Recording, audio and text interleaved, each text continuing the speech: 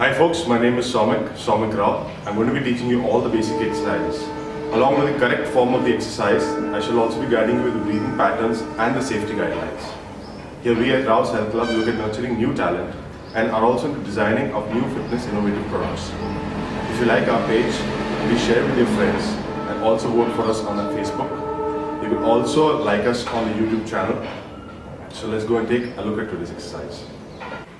So today we're going to be performing the uh, single arm dumbbell preacher curls. So like seen, we've taken a single dumbbell on one arm and we're going to start execution with one arm and then followed onto the second arm. That complete your entire set. So once you take a position on the preacher curl bench, you're going to take a normal grip of the dumbbell. And what you're going to do here is, this is going to be your starting position here. And you're going to squeeze up at this point and stretch completely. Remember to stretch completely, otherwise you end up with the half-headed biceps.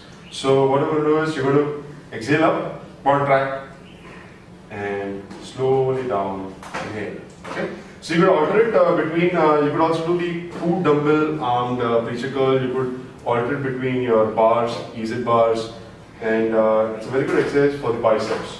So consult your trainer while doing this exercise. So good luck with the exercise guys, going to carry on. bolinha, bola com